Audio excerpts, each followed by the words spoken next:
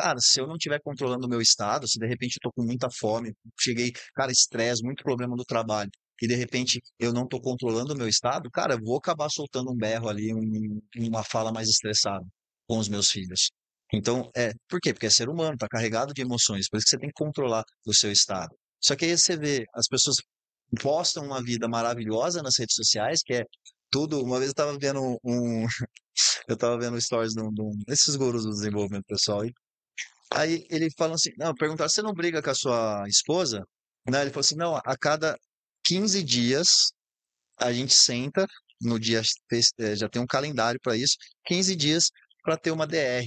Aí, pô, não, é, não, não para, não discute, né? Vamos. É, é uma vida de fantasia, muitas vezes, entendeu? Lógico, ninguém vai ficar mostrando briga em rede social, aí a pessoa se compara, pô, é a vida perfeita, é o carro perfeito, é tudo perfeito na vida da pessoa. Aí vai dar depressão mesmo ficar se comparando com a vida perfeita dos outros.